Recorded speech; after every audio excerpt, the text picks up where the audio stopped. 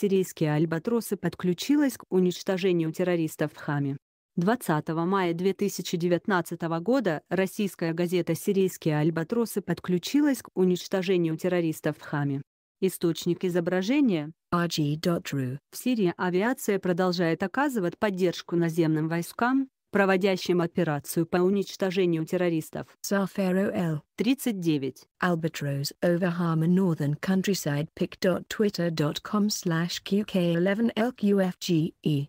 Mohammed Mansour. РДЖРЧ. Собака Мансур Талг, 16 Р кратко РСДЖ 2019 3. За последние дни удары по позициям бандформирований нанесли многоцелевые истребители Су-35, фронтовые бомбардировщики Су-24М и Су-34 российских воздушно-космических сил.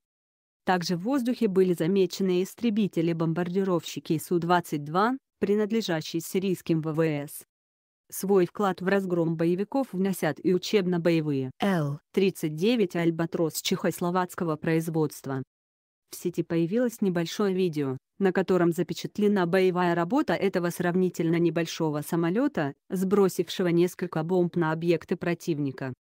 Уже неоднократно отмечалось, что, в отличие от более современных и крупных крылатых машин, на 39-х нет эффективных современных средств противодействия комплексам противовоздушной обороны.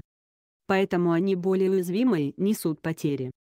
По разным оценкам, из более чем четырех десятков таких самолетов, находившихся в исправном состоянии к началу гражданской войны, сейчас сохранилось лишь около половины.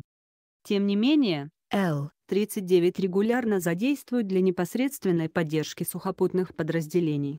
Кроме неуправляемых авиационных ракет и 23 ММ пушек они применяют авиационные бомбы, в том числе изготовленные в сирийских мастерских.